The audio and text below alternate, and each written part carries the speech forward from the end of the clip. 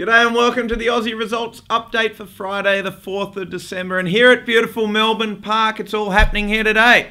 The Optus 18s and 14s championships get underway today. And Monika Wejnert, the top seed in the women's draw, got through her first round this morning and she's hoping her good form will continue throughout the week.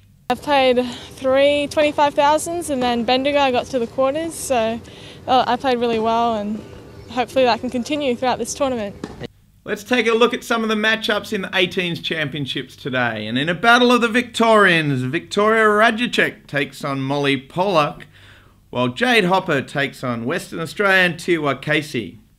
On the boys' side, Jason Kubler is up against Andrew Whittington, and Leaping Luke Saville takes on Stephen Ho. In results from the weekend, Alicia Molik won her second consecutive Pro Tour title in Bendigo. Molik beat 8th seed Arina Pavlovic in straight sets 6-3, 6-4. She'll now head to Melbourne for next week's Australian Open wildcard playoff. In the men's final, Matt Ebden continued his terrific form, defeating James Lemke 6-1, 6-1. The win gave Ebden his third Pro Tour title for the season.